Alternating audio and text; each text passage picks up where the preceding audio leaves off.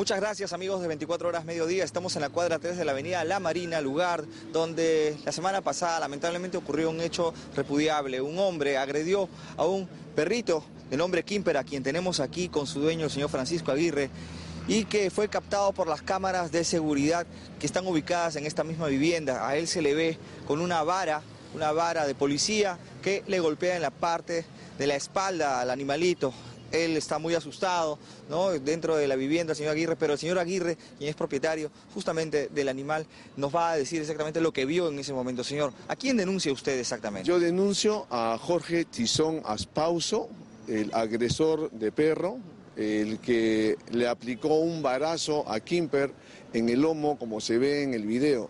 Y justo, justo yo aparezco cuando este señor le aplica la agresión.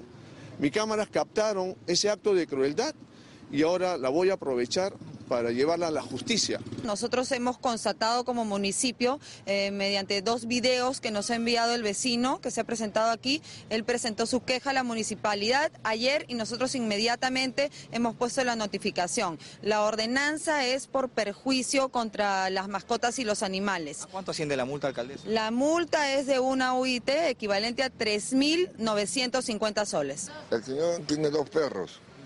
Ahí ya saca uno. Esos perros los sueltan y se meten acá y se trampean con mi perro. Y le pegan los dos, le pegan a mi perro, todo morrecheado. Yo lo llevo a curar, le digo, maestro, mira lo que han hecho. Ya, ya, ya, ya, lo voy a llevar a curar nunca. Su, ¿Sus hijos no agreden a los animales cada vez que pasan no, por acá? No, no, no, eso ha sido por, la, por el pleito de los perros. Pero hay vecinos que dicen que también han sido otros perros en otras ocasiones. Pueden, pueden decir muchas cosas. El problema ha sido este perro, que es mío, con el señor. ¿Sí o no? Pero tiene una vara de policía su hijo. Tiene un palo, un palo así. ¿Para qué es? El, ¿Para pa- qué lo el utiliza? palo, el palo ha sido para pegarle al perro. pues. Entonces sí agredió al perro. Nosotros, bueno, si lo, agredió, lo agredió, porque el, el problema del perro es el señor. Si, si esos perros están encerrados, no fastidian, no, li- no, no pasa nada. Muchísimas gracias. ¿Con quién tengo el gusto? Nelson Tizón, el dueño de la casa, el dueño del perro.